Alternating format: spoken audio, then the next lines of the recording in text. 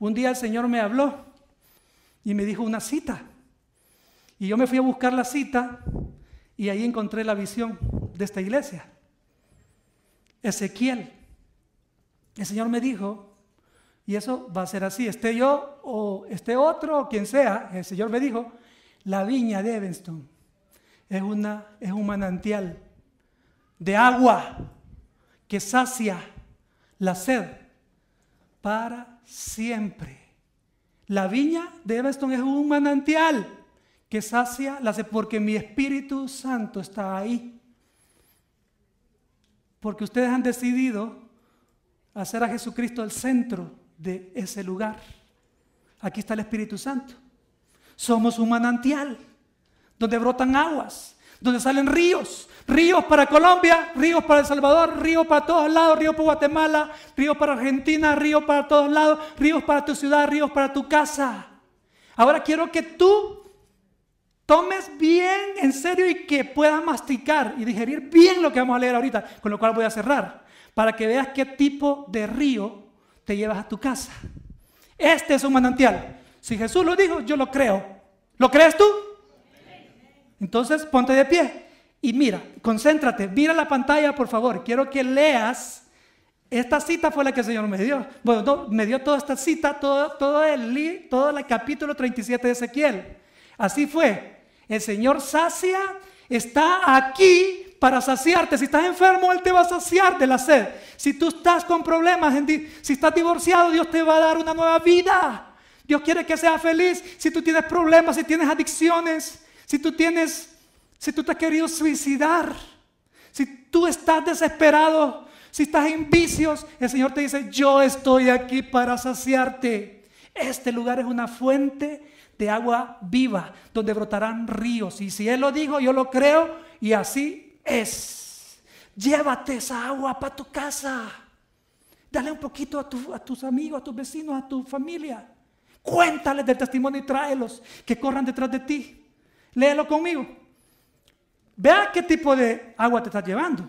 Junto a las orillas del río crecerá ese río que va a salir del manantial, que es Jesucristo, que es su Espíritu Santo transformador. Junto a las orillas del río crecerá toda clase de árboles frutales. Sus hojas no se marchitarán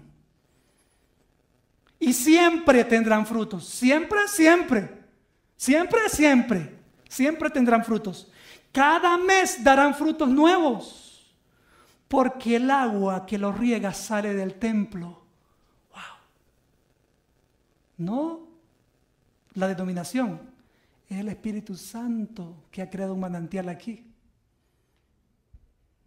Sigue diciendo, sus frutos servirán de alimento sus hojas serán tu medicina, tu medicina del alma, del cuerpo, del espíritu, tu medicina. Ese es el río que brotará del manantial para tu vida. Compártala. Cierra tus ojos. Por favor, levanta la mano sin miedo. Si tú no, no sientes que estás saciado completamente, levanta la mano bien alto. Jesús no tuvo ninguna pena y vino a saciarte. Y pasó un recorrido increíble. Si tú todavía no has sido saciado, levanta la mano porque un pastor se va a acercar a ti ahí a orar contigo. Levanta la mano. Si no has sido saciado, levanta la mano. No me siento saciado todavía. Con una oración el Señor te va a saciar. Levanta la mano si no has sido saciado. Levanta la mano acá, fuerte. Un pastor, acérquese a los pastores a los que levantan la mano. Jesús está aquí para saciar. Dame de beber, Señor, de tu agua. Ya no quiero tener sed jamás. Dame agua viva. Dame agua viva. Esa agua que viene por medio de tu palabra. Esa agua que viene en tu Espíritu Santo, mi vida, así como llegaste a la mujer samaritana y llenaste todo su sed. Llena hoy a mis hermanos. Llena hoy a mis hermanos en el nombre de Jesús. Llega, tócalo, Señor. Llena esa sed. Dale, Padre, un vaso con agua a cada uno ahora en el nombre de Jesús. Danos ahora. Llénanos.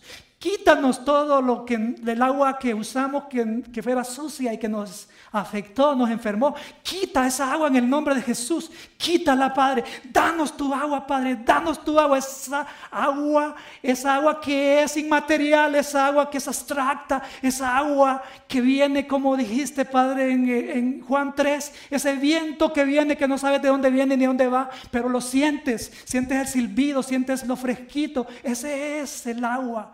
Espíritu Santo, Señor. Toca, Padre, sacia la sed. Sacia en el nombre de Jesús, la sed de cada uno de mis hermanos que entraron a este cuarto, que no regresen igual, Padre. En el nombre de Jesús, sacia esa sed, sacia la Padre. Tú eres la fuente de agua viva. Y este es un lugar cristocéntrico, por eso aquí es una fuente de agua viva donde tú estás y vas a hacer grandes maravillas. Y el que venga, Padre, detrás de mi hermano cuando testifique va a ser tocado, cambiado. En el nombre de Jesús. Así como un hermano en cita con Dios, Padre, me contó que el domingo pasado tú le tocaste y le sacudiste su corazón y le transformaste. Y cuando se enfrentó con el vicio, tuvo asco del vicio, se, tuvo fuego como que le quemaba. ¿Por qué? Porque tú obraste en él, Señor, así como obraste en aquella persona, Señor Jesús, que aceptó a ti también, que dejó los cigarros, Padre, de, de, un segundo al otro segundo, odiaba los cigarros, Padre. Así, Señor Jesús, como mi hermano puede estar triste, quizás a punto de cometer un error, Padre, sacia la sed, Padre, sacia la sed en el nombre de Jesús. Da una nueva vida hoy para tu honra y tu gloria, en el nombre de Jesús. Amén. Dios me los bendiga, hermanos.